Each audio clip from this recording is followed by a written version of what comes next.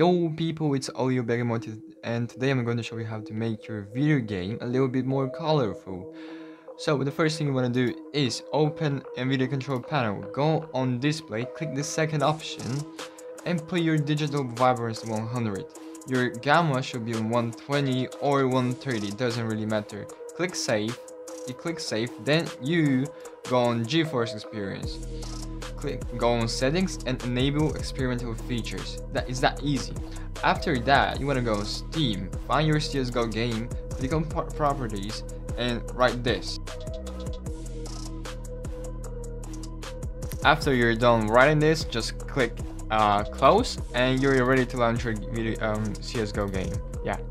Okay, so once you're in game, you want to press Alt plus Z. We're gonna open your NVIDIA game bar and I'm gonna go on game filter. Once you go on game filter, you can customize the way your game looks. You can add filters. You can add. You can play with your fuck. You can play with the way your game looks. That's yeah. Um. Um. Uh, you want you, you want to add color and put your vibrance to 100. It doesn't really matter.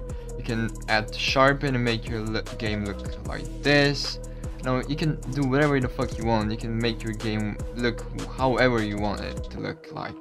I mean, yeah, that's pretty much it. It's that simple, guys. I hope you liked the video. I hope you enjoyed it.